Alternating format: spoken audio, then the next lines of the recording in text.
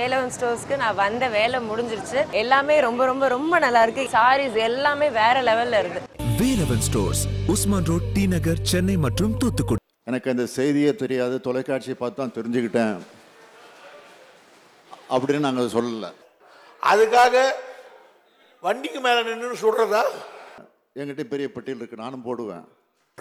மாண்பு பேரத்தில் விரிவாக்கம் செய்யப்படும் என்ற அறிவிப்பை வெளியிட்டதுனால தான் இந்த பிரச்சனையே வந்தது. நடவடிக்கை எடுக்காத நான் கேட்குறேன் பொள்ளாச்சி வழக்கு. என்ன நடவடிக்கை எடுத்தீங்க? நாங்கள் வந்து இப்போ நடவடிக்கை எடுத்துக்கிட்டு இருக்கிறோம். கொடநாடு என்னாச்சு? கொடநாடு என்னாச்சு? என்னாச்சு? அதுவும் நாங்கள் தான் நடவடிக்கை எடுத்துக்கிட்டு இருக்கிறோம். நாடு வழக்கு நீதிமன்றத்தில் நிலுவையில் இருக்கின்றது அம்மாவில் பசித்து உண்மைதான். அந்த வீடு வேற ஒரு வருது அவங்க இருந்தாங்களா இல்லையா? கேம்ப் ஆபீஸ் அங்க இருந்தது. அதிகாரிகள் போய் கோப்புல போய் கையெழுத்து வாங்கிட்டு வந்த ஆதாரங்கள் உண்டு. அவங்க சொந்தமா இல்லையாங்கிற பிரச்சனை இல்லை. ஆனா அவங்க இருந்த பங்களா அவங்க ஓய்வெடுத்த பங்களா. கஞ்சா விற்பனை முழுமையாக தடுத்து நிறுத்தப்படணும் அதற்காக operation ganja two point zero. மாணவ பேரவைத் தலைவர்களே கஞ்சா குட்காவை பற்றி பேச ஆரம்பித்தா எந்த நிலைமைக்கு போகும் என்பதை இந்த அவையில் இருக்கக்கூடிய எல்லாரும் அறிவாங்க. துறை அமைச்சராக இருந்தவர்கள் டிஜிபி கமிஷனர் மற்றும் போலீஸ் அதிகாரிகளாக இருந்தவர்கள் அவங்க மீதெல்லாம் சிபிஐ வழக்கு தொடுக்கக்கூடிய அளவுக்கு குட்கா நடமாட்ட தலைவிரித்து ஆட்டியது முன்பு. அதை மறந்துட்டு பேச மாண்பு பேரவைத் தலைவர்களே அவையில் உள்ள அனைத்து சட்டமன்றங்களுக்கும் வணக்கம். இன்று காவல் மற்றும் தீயணைப்புத்துறை மானிய கோரிக்கைகளை பேசுவதற்கு வாய்ப்பளித்த தங்களுக்கும் எனது மனமார்ந்த நன்றியை தெரிவித்துக் கொண்டு எங்களது ஆட்சி காலத்தில் சீரிய முறையில் ஆலோசனை வழங்கியதால் தமிழக காவல்துறை சுதந்திரமாக செயல்பட்டது. யாருடைய ஆட்சியாக இருந்தாலும் அங்கொன்றும் இங்கொன்றுமாக ஒரு சில அசம்பாவித சம்பவங்கள் நடைபெறுவது இயல்புதான். ஆனால் கடந்த இரண்டு ஆண்டுகளில் தமிழகத்தை பொறுத்தவரை மாண்புமிகு பேரவைத் தலைவர் அவர்களே எதிர்க்கட்சி தலைவர் அவர்கள் தொடங்குகிற போதே மணி மூன்று மணிக்கு மேல் ஆகிவிட்டது. நாங்கள் எல்லாம் இவ்வளவு நேரமாக இருந்து பேச வேண்டியிருக்கிறது என்று வருத்தப்பட்டார்கள். குறுக்கிட வேண்டாம் என்று தான் நானும் கருதியிருந்தேன். நாளை பதில் சொல்லுகிற போது விளக்கமாக பதில் சொல்லலாம் என்று நினைத்திருந்தேன். ஆனால் இப்பொழுது ரெண்டு ஆண்டு காலமாக சட்டம் ஒழுங்கு மோசமான நிலையில் இருக்கிறது என்பதை அவர் இங்கே பதிவு செய்திருக்கிறார். நான் அவருக்கு தெரிவிக்க விரும்புவது சட்டம் ஒழுங்குவதை நிலைநாட்டுவதில் இன்றைக்கு தமிழ்நாடு காவல்துறை மிக சிறப்பாக இயங்கிக் கொண்டிருக்கிறது. உதாரணத்துக்கு சொல்ல வேண்டும் என்று சொன்னால் ஜல்லிக்கட்டு மதுரை சித்திரை திருவிழா விநாயகர் சதுர்த்தி தேவர் குரு பூஜை இமானுவேல் சேகரனார் நினைவு நாள் திருவண்ணாமலை கார்த்திகை தீப திருவிழா தைப்பூச திருவிழா திருவாரூர் திருவிழா அனைத்து விழாக்களும் எவ்வளவு அமைதியாக சுமூகமாக நடைபெற்றது என்பது நாட்டிற்கு நன்றாக தெரியும். சாதி மோதல்கள் மதக்கலவரங்கள் போலீஸ் துப்பாக்கி சூடு கள்ளச்சாராய சாவு ரயில் கொள்ளையர்கள் வடமாநில கொள்ளையர் அட்டகாசம் தொழிற்சாலை போராட்டங்கள் என வழக்கமான சட்டம் ஒழுங்கு பிரச்சனைகள். இன்றைக்கு இந்த திராவிட மாடல் ஆட்சியை பொறுத்த வரையில் அவைகளெல்லாம் முறையாக தடுக்கப்பட்டு தமிழ்நாடு இன்றைக்கு அமைதி பூங்காவாக விளங்கி கொண்டிருக்கிறது. இன்னும் சொல்லணும்னா நம்முடைய மாண்புமிகு பிரதமர் அவர்கள் சமீபத்தில் எட்டு நாலு ரெண்டாயிரத்தி இருபத்தி மூணு அன்று சென்னை வந்தபோதும் குடியரசுத் தலைவர் அவர்கள் பதினெட்டு ரெண்டு ரெண்டாயிரத்தி இருபத்தி மூணு அன்று கோவை வந்தபோதும் பதினெட்டு மூணு ரெண்டாயிரத்தி இருபத்தி மூணு அன்று கன்னியாகுமரி வந்தபோதும் ஜனவரி மாதம் முதல் சென்னை கோவை திருச்சி தஞ்சாவூர் ஆகிய இடங்களில் ஜி டுவெண்ட்டி மாநாடு நிகழ்ச்சிகள் நடைபெற்றிடவும் உரிய பாதுகாப்புட ஏற்பாடு செஞ்சு மிகப்பெரிய பாராட்டுதல்களை இந்த காவல்துறை பெற்றிருக்கிறது. இன்னும் சொல்லணும்னா முதல் முதல்ல ஆப்ரேஷன் ரவுடி வேட்டை நடத்தப்பட்டு ஆறாயிரத்தி நூற்றி பன்னெண்டு பேர் கைது செய்யப்பட்டு மூவாயிரத்தி நாற்பத்தேழு பேர் குண்டர் தடுப்பு சட்டத்தில் அடைக்கப்பட்டிருக்கிறாங்க. ஆக எதுக்கு இதெல்லாம் சொல்கிறேன்னா குற்றங்கள் நடைபெறாமல் தடுப்பதில் இந்த அரசு எவ்வளவு முன்னுதாரணமாக திகழ்ந்து கொண்டு இருக்கிறது என்பதற்கு இதெல்லாம் ஒரு அடையாளம். இன்னும் சொல்ல போகிறேன் இன்னும் தெளிவாக உங்களுக்கு புள்ளிவத்தோடு சொல்லணும்னா இதனால் ரெண்டாயிரத்தி இருபதில் ஐபிஎஸ் குற்றங்கள் எட்டு லட்சத்தி தொண்ணூத்தோராயிரத்தி அறுநூற்றி தொண்ணூத்தாறாக இருந்து ரெண்டாயிரத்தி இருபத்தி ரெண்டில் வெறும் ஒரு லட்சத்தி தொண்ணூற்றி நாலாயிரத்தி தொண்ணூற்றி ஏழு வழக்குகளாக குறைந்துள்ளது. ரெண்டாயிரத்தி இருபதில் ஒரு லட்சத்து அறுபத்தெட்டாயிரத்தி அறுநூத்தி இருபத்தொம்போதாக இருந்த மதுவிலக்கு சட்டத்தின் கீழான வழக்குகள் ரெண்டாயிரத்தி இருபத்தி ரெண்டில் ஒரு லட்சத்து ஐம்பத்தையாயிரத்தி நானூற்றி எண்பத்தாறாக குறைந்திருக்கிறது. ரெண்டாயிரத்தி பத்தொம்போதில் ஆயிரத்தி அறுநூத்தி எழுபத்தெட்டாக இருந்த கொலை சம்பவங்கள் ரெண்டாயிரத்தி இருபத்தி ரெண்டில் ஆயிரத்தி ஐநூற்றி தொண்ணூற்றி ஏழாக குறைந்திருக்கு. ரெண்டாயிரத்தி பதினெட்டில் பெண் சிறுமி கடத்தல் வழக்குகளில் தொள்ளாயிரத்தி ஏழு ஆனால் ரெண்டாயிரத்தி ரெண்டில் அது ஐநூற்றி முப்பத்தஞ்சாக குறைந்திருக்கிறது. ரெண்டாயிரத்தி பதினெட்டில் பெண்களுக்கு எதிரான வரதட்சணை கொடுமை வழக்குகள் ஐம்பத்தஞ்சு ஆனால் ரெண்டாயிரத்தி இருபத்தி ரெண்டில் அது இருபத்தொன்பதாக குறைக்கப்பட்டிருக்கிறது. ரெண்டாயிரத்தி பதினெட்டில் லாட்ரி சீட்டு விற்பனை வழக்குகள் நாலாயிரத்தி அறநூற்றி தொண்ணூற்றி நாலு ஆனால் ரெண்டாயிரத்தி இருபத்தி ரெண்டில் இது மூவாயிரத்தி நானூற்றி அறுபத்தாறாக குறைக்கப்பட்டிருக்கிறது. ஆக கொலை குற்றங்கள் குறைந்திருக்கு. கொள்ளை கண்ணக்கணுவன எல்லா குற்றங்களுமே குறைக்கப்பட்டிருக்கு. ஆகவே அதிமுக ஆட்சியில் கைவிடப்பட்ட சட்டம் ஒழுங்கு திமுக ஆட்சியில் நிலைநாட்டப்பட்டிருக்கிறது என்பதுதான் உண்மை. இந்தியாவிலேயே அனைவரும் விரும்பி வந்து வாழக்கூடிய மாநிலமாக நம்முடைய தமிழ்நாடு இன்றைக்கு அமைதி பூங்காவாக விளங்கி கொண்டிருக்கிறது. அதற்கு காரணம் திமுக ஆட்சி அதற்கு காரணம் இந்த திராவிடமோட ஆட்சி என்பது அதுக்கு இந்த காவல்துறை தான் இந்த சிறப்பான பணியை நிறைவேற்றி தந்திருக்கிறது என்பதை மாண்புமிகு எதிர்க்கட்சி தலைவர்களுக்கு தங்கள் மூலமாக நான் தெரிவித்துக் கொள்கிறேன். அண்மையில் நெல்லை மாவட்டம் அம்பாசமுத்திரம் விசாரணைக்கு அழைத்து வரப்பட்டவர்களின் பற்களை பிடுங்கிய மனித தன்மையற்ற அராஜக நடந்து கொண்ட சம்பவம் காவல் நிலையத்தில் வீடியோ கேமரா பழுதடைந்ததால் இந்நிகழ்வு குறித்து பதிவு இல்லை என்று விசாரணை அதிகாரியிடம் கூறியுள்ளதாக செய்திகள் வந்துள்ளன. மாண்புமிகு பேரவைத் தலைவர் அவர்களே நம்முடைய எதிர்க்கட்சி தலைவர் அவர்கள் பல்வேறு கோரிக்கைகளையும் வச்சுருக்கிறாங்க. பல்வேறு குற்றச்சாட்டுகளையும் எடுத்து சொல்லியிருக்கிறாங்க. அவைகளுக்கெல்லாம் நான் நாளை காலை ஒருவேளை அவர்கள் வெளிநடப்பு செய்யாமல் இந்த அவையில் இருந்தால் அப்பொழுது கேட்கலாம். இருந்தாலும் திருநெல்வேலி அம்பாசமுத்திரத்து பகுதியில் நடந்த ஒரு சம்பவத்தை பற்றி சிசிடிவி கேமரா சரியாக இயங்கவில்லை என்ற செய்தி வந்ததாக அதுவும் உறுதி செய்து சொல்லவில்லை. செய்தி வந்ததாக தான் சொல்லியிருக்கிறார். அதற்காக நான் ஒரு விளக்கத்தை சொல்ல விரும்புகிறேன். அம்பாசமுத்திர நிகழ்வு குறித்து சமூக வலைத்தளங்களில் புகார்கள் வந்தவுடனே அங்கு பணியாற்றிய உதவி காவலர் கண்காணிப்பாளர் திரு பல்வர் சிங் இருபத்தி ஆறு மூணு ரெண்டாயிரத்தி இருபத்தி மூணு காத்திருப்பு பட்டியலுக்கு மாற்றப்பட்டிருக்கிறார். அதைத் தொடர்ந்து பிஎஸ்ஓ பிரிவு நூற்றி எண்பத்தொன்னின் இந்த புகார் நிர்வாகத்துறை நடுவர் எக்ஸிகியூட்டிவ் மேஜிஸ்ட்ரேட் மற்றும் சேரமாந்தவி சாராட்சியர் ஆகியோரின் விசாரணைக்கு உத்தரவிடப்பட்டது. இதற்கிடையிலே உதவி காவலர் கண்காணிப்பாளர் இருபத்தொன்பது மூணு ரெண்டாயிரத்தி இருபத்தி மூணு அன்று பணியிடை நீக்கம் செய்யப்பட்டார்.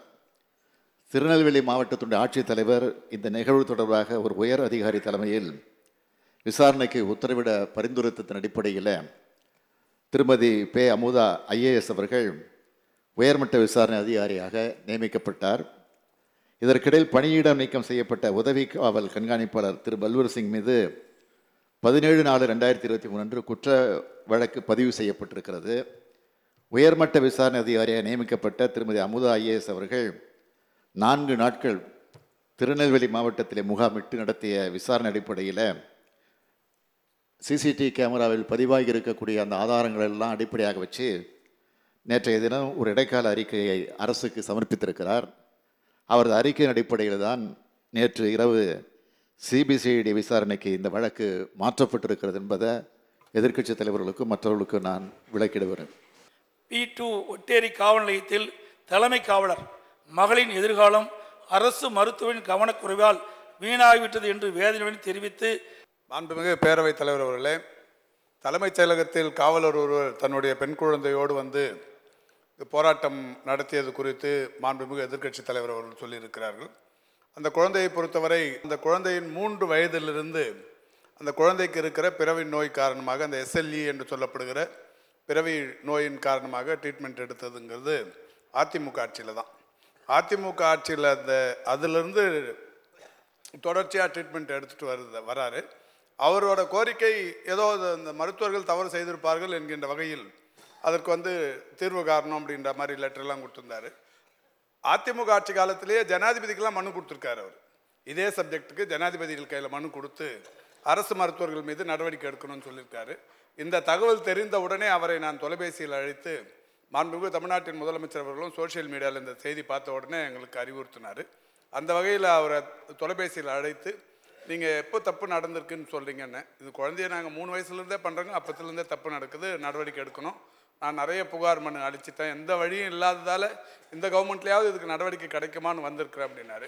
உடனடியாக நான் மூன்று மருத்துவர்களை விசாரிப்பதற்கு ஒரு குழு போட்டு இப்போ விசாரணை நடைபெற்று கொண்டிருக்கிறது. மிக விரைவில் அந்த விசாரணை அறிக்கை வந்தவுடன் மருத்துவர்கள் தவறு செய்திருக்கிறார்களா அல்லது அந்த காவலருடைய கூற்று உண்மையா பொய்யா என்பது நாட்டுக்கு அம்பலப்படுத்தப்படும் என்பதை தங்களின் வாயிலாக தெரிவித்துக் கொள்கிறேன். கோவை ஒருங்கிணைந்த நீதிமன்ற வளாகத்தில் ஒரு வழக்கிற்காக வந்த பெண் ஒருவர் மீது. மாண்புமிகு பேரவைத் தலைவர் அவர்களே எதிர்க்கட்சித் தலைவர் அவர்கள் வரிசையாக சில சம்பவங்களை எல்லாம் இங்கே பட்டியல் போட்டு காட்டியிருக்கிறார். ஆனால் பட்டியல் போட்டு காட்டிய நேரத்தில் நடவடிக்கை எடுக்கவில்லை என்று சொன்னால் அதுதான் மிகப்பெரிய குற்றச்சாட்டு. ஆனால் இந்த சம்பவங்கள் நடந்த உடனுக்குடன் நடவடிக்கை எடுத்துக்கொண்டிருக்கக்கூடிய ஆட்சி திராவிட முன்னேற்ற கழகத்தினுடைய ஆட்சி. ஸ்டெர்லைட் துப்பாக்கி சூட்டு நடந்தப்போ எனக்கு அந்த செய்தியே தெரியாது. தொலைக்காட்சியை பார்த்து தான் தெரிஞ்சுக்கிட்டேன்.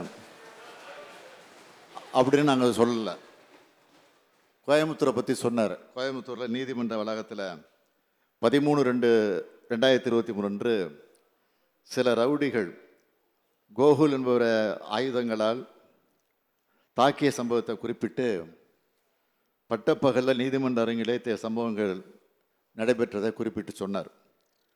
கோயம்புத்தூர் மாநகரம் சரவணம்பட்டி காவல் நிலைய கொலை வழக்கு ஒன்றில் தொடர்புடைய கீரணத்தம் பகுதியைச் சார்ந்த கோகுல் வயது இருபத்தி மூணு வீரப்பிள்ளை என்பவர். கடந்த பதிமூணு ரெண்டு ரெண்டாயிரத்தி இருபத்தி மூணு அன்று கோயம்புத்தூர் ஒருங்கிணைந்த நீதிமன்ற வளாகத்தில் வைத்து கைது செய்யப்பட்டது தொடர்பாக பந்தயசாலை காவல் நிலையத்தில் வழக்கு பதிவு செய்யப்பட்டு அவ்வழக்கின் தொடர்புடைய பதினாறு நபர்கள் கைது செய்யப்பட்டனர். அவர்களுள் பன்னெண்டு பேர் குண்டர் தடுப்பு சட்டத்தின் கீழ் நடவடிக்கை மேற்கொள்ளப்பட்டிருக்கு. நீதிமன்ற வளாக அருகே பாதுகாப்பு குறைபாடு காரணமாக நடைபெறவில்லை இது. கடந்த பதிமூணு ரெண்டு ரெண்டாயிரத்தி இருபத்தி மூணு அன்று நடைபெற்ற கோகுல் கொலை சம்பவம் முன்விரோதம் காரணமாக நடைபெற்ற சம்பவம் இந்த சம்பவம். அதேபோல் அதிமுக ஆட்சியில் சென்னை எழும்பூர் நீதிமன்ற வளாகத்தில் கல்லால் அடித்த வழக்கறிஞர் ஸ்டாலின் என்பவர் கொல்லப்பட்டார். இன்னொரு வழக்கில் ரஜினிகாந்த் என்பவர் வெட்டி கொல்லப்பட்டார். எல்லாவற்றுக்கும் மேலாக சென்னை ஐந்தாவது பெருநகர மாஜிஸ்ட்ரேட் கோர்ட்டு விசாரணைக்காக காத்திருந்த நேரத்தில் சலீம் பாபு என்பவர் விரட்டி வெட்டப்பட்டு நீதிமன்ற நடுவர் முறை கொல்லப்பட்டார். இன்னும் சொல்லணும்னா டாக்டர் சுப்பிரமணிய சாமிக்கு எதிராக சென்னை உயர்நீதிமன்றத்தில் நடத்தி காட்டிய வன்முறை மற்றும் ஆபாச காட்சிகள் எல்லாம் மக்கள் இன்னும் மறக்கலை. அதையும் மனசில் வச்சுக்கோங்க. ஆனால் திமுக ஆட்சியை பொறுத்த வரைக்கும் எங்கெங்கே சம்பவம் நடக்குதோ அது ஆளுங்கட்சியாக இருந்தாலும் சரி எந்த கட்சியாக இருந்தாலும் அவர்கள் மீது உடனடியாக உடனுக்குடன் நடவடிக்கை எடுக்கப்பட்டிருக்கு கைது செய்யப்பட்டிருக்கிறார்கள். அதற்கெல்லாம் ஆதாரங்கள் இருக்குது அந்த விவரங்களெல்லாம் நாளை தினம் பதில் உரையில் நான் விளக்கமாக சொல்ல இருக்கிறேன்.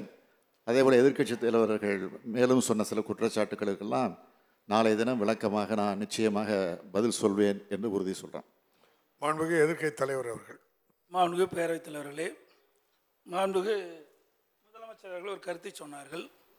நான் தொலைக்காட்சியில் பார்த்து தான் தெரிந்து கொண்டேன் என்று அது உண்மைதான் இல்லை என்று மறுக்கவில்லை. ஆன்மீக பேரவைத் தலைவர் அவர்களே நீதியரசி அருணா ஜெகதீசன் அவர்கள் கொடுத்திருக்கின்ற அறிக்கையிலே மிக தெளிவாக குறிப்பிட்டிருக்கின்றார்.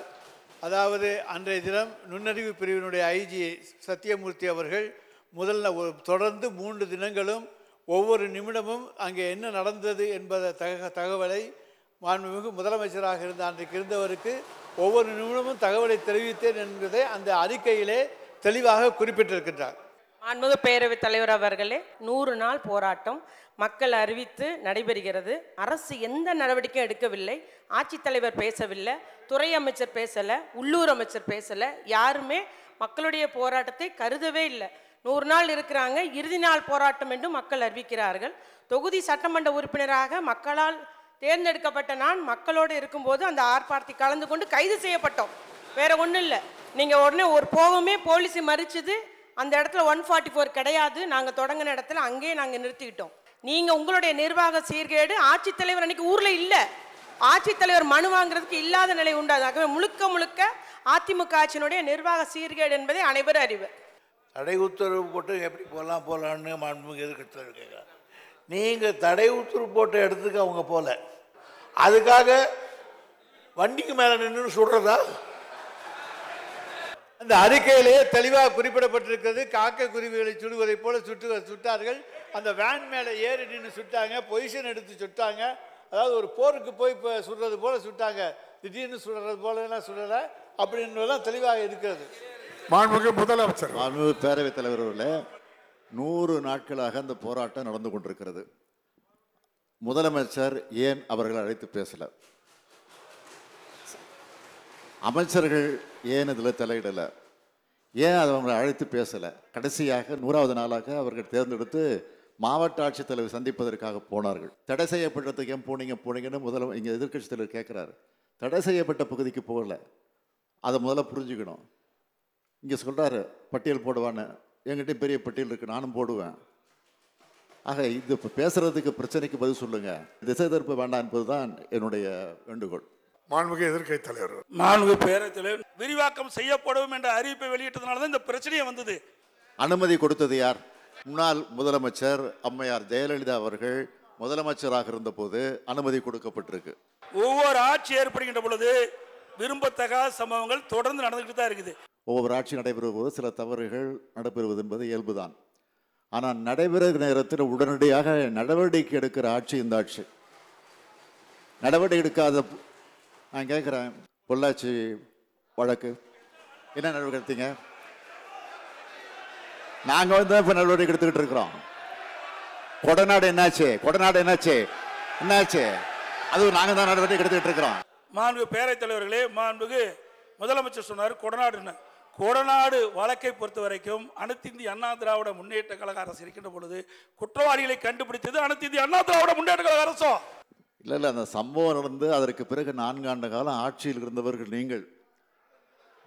நான்காண்டு காலம் முதலமைச்சர் என்ன நடவடிக்கை எடுத்து என்ன ரிசல்ட்டு என்ன தண்டனை கிடைச்சிருக்கு யாருக்காவது? எதுவும் கிடைக்கலையா? காப்பாற்றுற முயற்சியில் தான் நீங்கள் ஈடுபட்டிருக்கீங்க அமைதியாக இருந்துட்டு இருக்கீங்க. அதற்கு பிறகு நாங்கள் ஆட்சிக்கு வந்ததுக்கு பிறகு தான் அதை விரைவுபடுத்தி இன்னும் முடிக்க முடியாத சூழ்நிலை இருக்குது காரணம் நீங்கள் வந்து அவ்வளோ மெத்தனமாக இருந்து அலட்சியமாக இருந்த காரணத்தினால உண்மையை கண்டுபிடிக்க முடியாத ஒரு சூழ்நிலையில் காலம் கடந்து கொண்டிருக்கிறது. ஆனால் நிச்சயமாக உறுதியாக அதை கண்டுபிடிச்சு உரியவர்களுக்கு உரிய தண்டனையை இந்த ஆட்சி வழங்கும். அதுதான் உறுதி. மிகு பேரவைத் தலைவர் அவர்களே ஒரு வழக்கு வந்து ஒரு அரசாங்கம் வந்து முழுக்க நன்றாக விசாரித்து குற்றவாளிகள் தப்பிக்க முடியாதபடி அங்கே சார்ஜ் ஷீட் போட்டு நாங்கள் கொண்டு போய் நிறுத்துவோம். அதில் தண்டனை வாங்கி தருவோம் என்பதைத்தான் மாண்புமிகு முதலமைச்சர் அவர்கள் சொன்னார்கள். நிச்சயமாக அந்த அளவு குற்றவாளிகள் தப்ப முடியாதபடி அங்கே குற்றப்பத்திரிகை தாக்கல் செய்து அவர்களுக்கு தண்டனை வாங்கி கொடுக்கப்படும். மாண்புமிகு பொதுப்பணித்துறை அமைச்சர். மாண்புமிகு பேரவைத் தலைவர்களே அங்கு இங்கு ஒன்று அங்- கொலைகள் கொள்ளைகள் இதை பற்றி இங்கே எதிர்க்கட்சி தலைவர்கள் இங்கே குறிப்பிட்டு சொல்லிக் கொண்டிருக்கிறார்கள். தூத்துக்குடியில் விபிஆர் ரமேஷ் ஒரு சட்டமன்ற உறுப்பினர். அதேபோன்று மதுராந்தகத்திலே சொக்கலிங்கம் ஒரு சட்டமன்ற உறுப்பினர். உப்பிலியாபுரத்திலே ரவிச்சந்திரன் ஒரு சட்டமன்ற உறுப்பினர். ராணிப்பேட்டையிலே மோகன் ஒரு சட்டமன்ற உறுப்பினர். இத்தனை சட்டமன்ற உறுப்பினர்களும் அதிமுக ஆட்சியில் அடிக்கப்பட்டு இன்னும் சொல்ல போனால் அருவாளால் ராணிப்பேட்டை சட்டமன்ற இருக்கு. அருவாளால் வெட்டப்பட்டு குத்துயிரும் குறைவுமாக மருத்துவமனையில் பொதுமக்கள் கொண்டு சேர்த்தார்கள். இதுவரைக்கும் அதிமுக ஆட்சி அந்த சட்டமன்ற உறுப்பினருக்கே பாதுகாப்பு இல்லாமல் வெட்டப்பட்டார்களே குத்தப்பட்டார்களே அந்த குற்றவாளிகள்லாம் அந்த ஆட்சியில் கண்டுபிடித்தெல்லாம் நீதிமன்றத்தில் கொண்டு தண்டனை வாங்கி கொடுத்து விட்டார்களா? நான் கேட்குறேன். ஆக அதிமுக ஆட்சியில் சட்டமன்ற உறுப்பினர்களுக்கே தேதியோடு இருக்கு. நேரங்காலத்தை கருத சுருக்கமாக சொல்கிறேன் நாலு சட்டமன்ற உறுப்பினர் பேரே சொல்லிட்டேன். அத்தனை நாலு சட்டமன்ற உறுப்பினர் நடு ரோட்டில் வச்சு அதிமுக ஆட்சி அடித்தார்கள். இதுவரைக்கும் குற்றவாளியை கண்டுபிடிக்கப்பட்டதா? ஆக சட்டமன்ற உறுப்பினருக்கு பாதுகாப்பு இல்லாத ஒரு ஆட்சி தான் அந்த ஆட்சி. குடநாடுகளுக்கு நீதிமன்றத்தில் நீதிமன்றத்திலே நிலுவையில் இருக்கின்றது. நாங்கள் தீர்ப்புக்குள்ளே போகலை. அந்த அடிப்படையில் தான் இன்னும் சில விளக்கங்களை இந்த கொடநாடு விவகாரத்தை பொறுத்த வரைக்கும் நான் விளக்கிட விரும்புகிறேன்.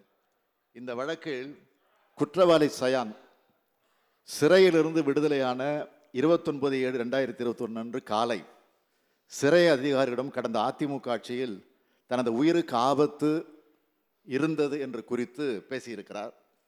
தற்போது இந்த வழக்கில் சில உண்மை நிலவரத்தை தெரிவிக்க உள்ளதாகவும் கூறி அளித்த மனு.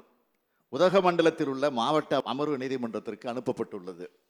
அது மட்டுமன்றி வழக்கில் மேல் புலன் விசாரணை நடத்த அனுமதி கோரி அரசு தரப்பிலும் மனு தாக்கல் செய்யப்பட்டதை அனுமதி வழங்கப்பட்டது. இதனை அடுத்து காவல்துறையினர் எதிரி சயானை விசாரணை செய்தனர். மேல் விசாரணைக்கு எதிராக அம்மா பேரவை மாவட்ட துணை அமைப்பாளர் அனுபவ் ரவி தாக்கல் செய்த மனுவை சென்னை உயர்நீதிமன்றம் தள்ளுபடி செய்தது. இதனை அடுத்து இந்த வழக்கை புலன் விசாரணைக்கு எடுத்துக்கொண்ட தனிப்படை. ஏற்கனவே விசாரணை செய்த சாட்சிகள் மற்றும் புதிய சாட்சிகள் விசாரணை செய்து குற்றவாளிக்கு அடைக்கலம் கொடுத்ததற்காகவும் சாட்சியங்களை மறைத்த காரணத்திற்காகவும் இறந்து போன கனகராஜின் சகோதரர் தனபால் மற்றும் ரமேஷ் ஆகியோரை இருபத்தஞ்சி பத்து ரெண்டாயிரத்தி இருபத்தொன்று அன்று கைது செய்தனர். தொடர்ந்து தனிப்படையினர் முன்னூற்றி ஆறு நபர்களும் விசாரணை மேற்கொண்டுள்ளனர். இந்த நிலையில் இந்த வழக்கு பத்தொன்பது பத்து ரெண்டாயிரத்தி இருபத்தி ரெண்டு அன்று மாநில குற்றப்பிரிவு குற்றப்புலனாய்வுத்துறைக்கு மாற்றப்பட்டு அவர்கள் விசாரணை மேற்கொண்டு வருகின்றனர். சம்பவம் நடந்து ஏப்ரல் இருபத்தி நாலு ரெண்டாயிரத்தி பதினேழு ஆறு ஆண்டுகள் ஆகிவிட்டது. அந்த சம்பவம் நடந்ததும் உடனடியாக ஆதாரங்கள் சேகரிக்கப்பட்டு தடயங்களையும் காப்பாற்றி வாக்குமூலை முறையாக பெற்று வைத்திருந்தால் விரைந்து வழக்கை முடித்திருக்க முடியும்.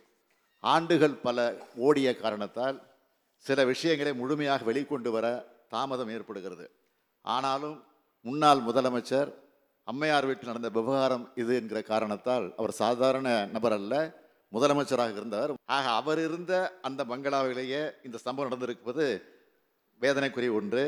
எனவே இந்த விவகாரத்தை பொறுத்தவரையில் மிகுந்த கவனத்தோடு இந்த விசாரணை நடத்தி உண்மை குற்றவாளியை நிச்சயமாக விரைவில் கண்டுபிடிப்போம்.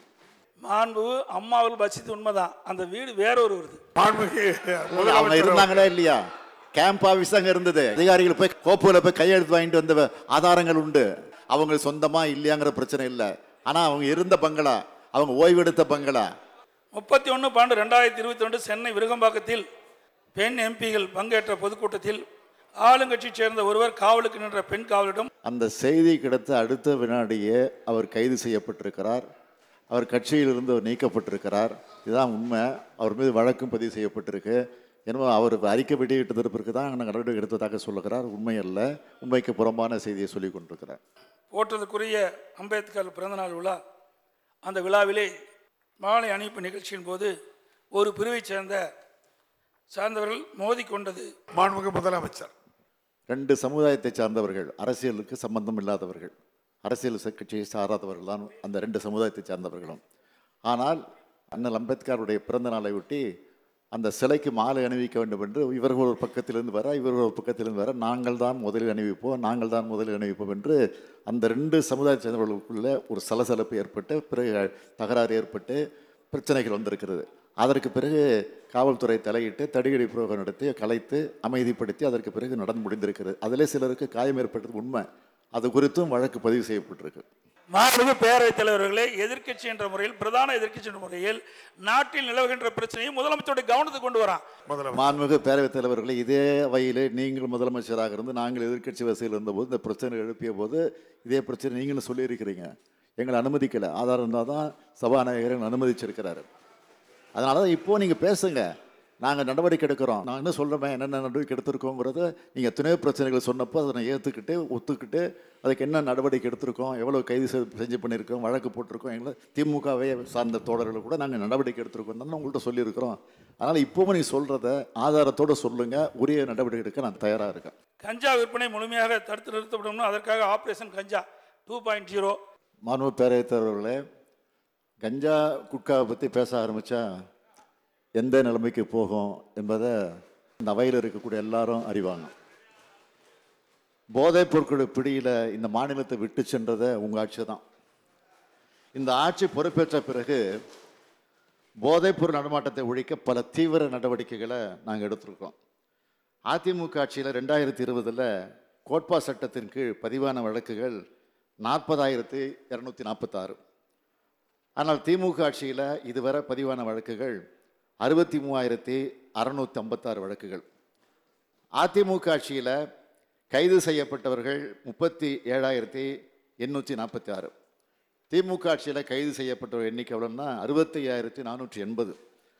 ரெண்டாயிரத்தி இருபதில் பறிமுதல் செய்யப்பட்ட குட்கா உள்ளிட்ட போதைப் பொருட்கள் அதிமுக ஆட்சியில் ஒரு லட்சத்தி இருபத்தி ரெண்டாயிரம் கிலோ.